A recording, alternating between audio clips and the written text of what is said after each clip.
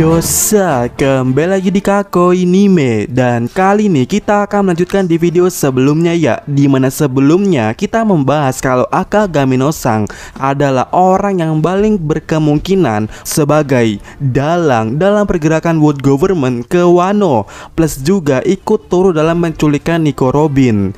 Dan di sini timbullah sebuah pertanyaan Apakah Akagami no Sang jahat kepada Luffy dan berpihak kepada world government government Ya itu pertanyaannya. Namun menurut Mimin ya Seperti yang Mimin katakan di video sebelumnya Ada udang di balik baktu. Tentu saja kelakuan Sang di sini punya maksud tersendiri Jika memang begitu. Sang yang menyeru World Government untuk pergi ke Wano plus, plus dalam menangkap Robin dalam teori ini Ada tujuan Sang yang mengalir di dalamnya Di mana landasan poinnya adalah Bajak laut berbahaya yang dikatakan oleh Akagami kepada Gorosei sebelumnya. Nah karena sang ini ya gosipnya ini sama world government Maka kehancuran yang sudah diprediksikan atau dikhawatirkan oleh Akagami Itu sangat berkaitan dengan world government Hal ini bisa didasari sang yang ngobrol dengan Oyaji Kehancuran yang sudah ditentukan itu datang kepada Oyaji bukan?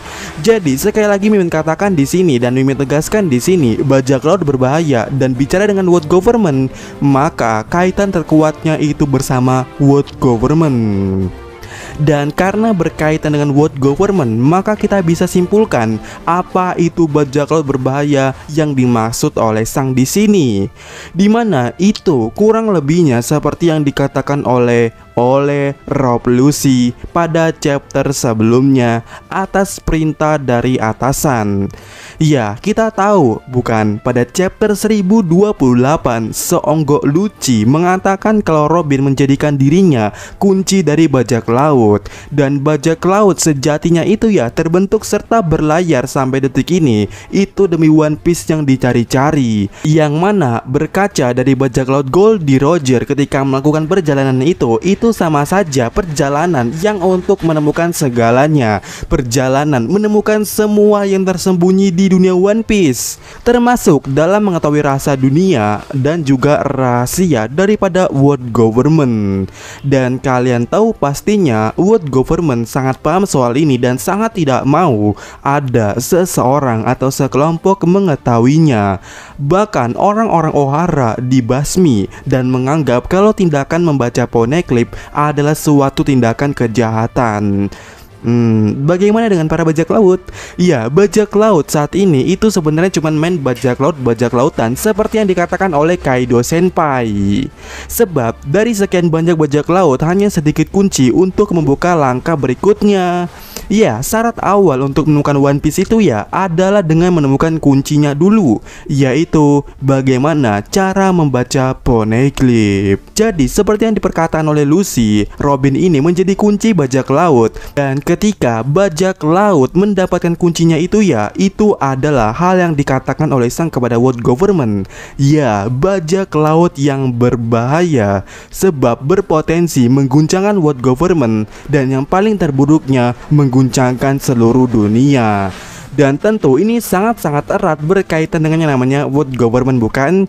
Jadi bisa dipoinkan di sini ada kemungkinan yang dimaksud sang memanglah seperti itu. Nah, pertanyaannya di sini adalah apa tujuan Akagami sebenarnya? Jika berkaca dari apa yang terjadi pada Oyaji dan juga Kaido sebelumnya dan juga di Marineford bersama Kurohige, tentu saja Akagami ini sangat-sangat punya spekulasi atau rencana mencegah kemungkinan terburuk. Dan dengan sang menyeruat government ke Wano sekaligus menangkap Robin, percayalah sejatinya tindakan itu adalah pencegah kemungkinan terburuknya dari seorang Akagami.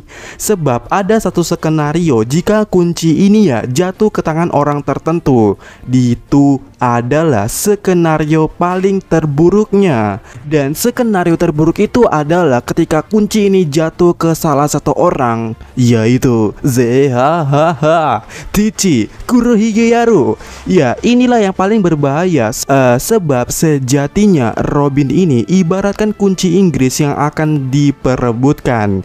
Jadi, si Robin ini merupakan alat yang bisa digunakan untuk apa aja, tergantung pilotnya. Dan sejauh ini, sejauh One Piece berjalan, ada dua belokan atau dua arah cara menggunakan kunci Inggris ini dalam tanda kutip. Pertama, menghancurkan world government. Kedua, menghancurkan dunia. Ya, cara pertama menghancurkan world government itu adalah dengan mengetahui rahasia mereka. Dan itulah yang akan ditempuh oleh Luffy dan tujuan dari Joy Boy membuat petunjuk informasi di batu Poneglyph. Akan tetapi, menghancurkan dunia itu adalah opsi yang juga tersedia. Uh, ini sudah digaungkan oleh Krokodil dan juga Kaido, terutama Kaido ya, yang baru-baru ini yang ingin membuat New Onigashima dengan peperangan di mana-mana.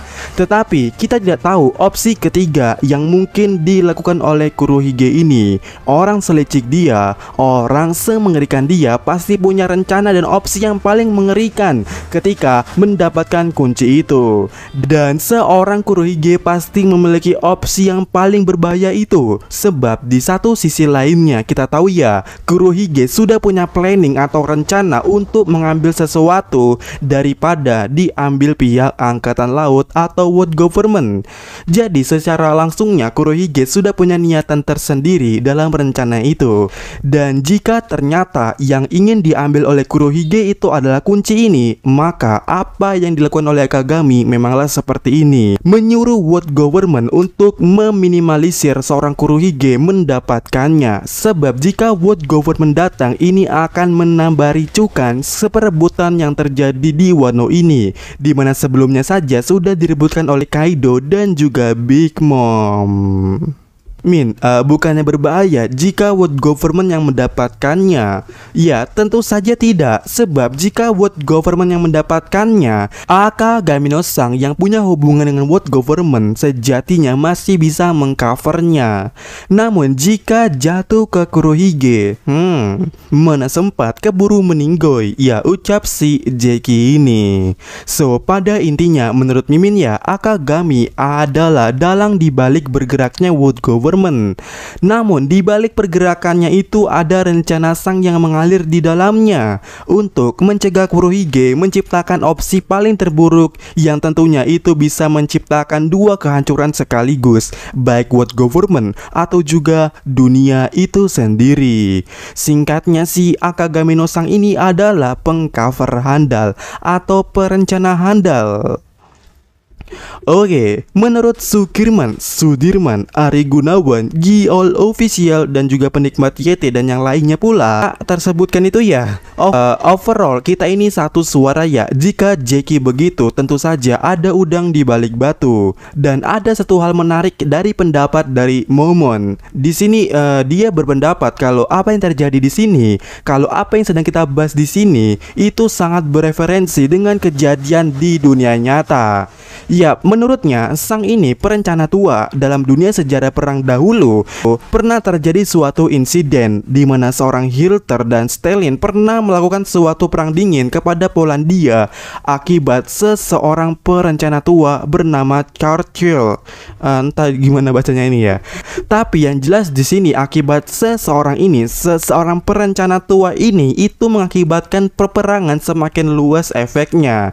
Dan kalian tahu, ini relate dengan yang terjadi di Wano Kuni. Sebab dengan bergeraknya world government itu membuat perang semakin besar, perang Onigashima semakin luas adanya. Dan jika bereferensi dari dunia asli, maka ketika world government membuat luas suatu perang, maka itu sama seperti yang ada terjadi di dunia ini. Ada si perencana tua di baliknya dan orang itu adalah dia Jeki Akagamino Sang. Seperti yang kita bahas di sini.